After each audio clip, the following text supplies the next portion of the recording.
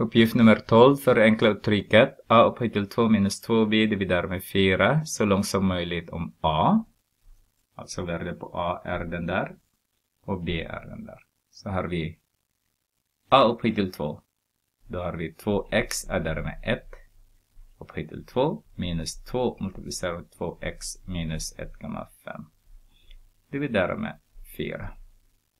Och det här är kvadreringsregel. Kvadreringsregel ser ut så här a plus b upphöjt till 2 är lika med a upphöjt till 2 är därmed 2b, 2ab menade jag, är därmed b upphöjt till 2. Då gör vi exakt samma här. Så har vi 2x upphöjt till 2 är därmed 2 multiplicerat med a är 2x, b är 1, är därmed 1 upphöjt till 2. Subtraherar med, om vi multiplicerar in den här, negativ 2, alltså den här, negativ 2, så har vi negativ 4x. Och sen vi har positiv 3. Alltså negativ och negativ blir positiv. Dividerar med 4.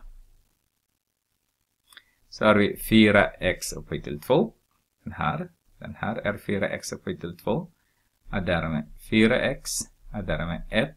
Subtraherar med 4x är därmed 3. Det blir därmed 4.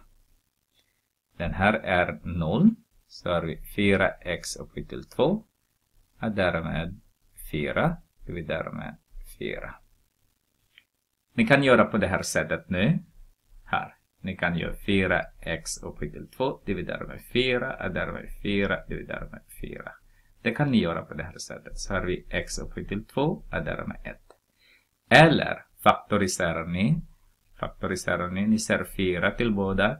Så tar ni ut och sen parentes x upphöjt till 2 och därmed 4. Dividerar med 4. Så ser ni att den här blir 1. Nej! Ser jag stort tabbe där. Det ska vara 1 där. Så. Så i svaret här är x upphöjt till 2 och därmed 1.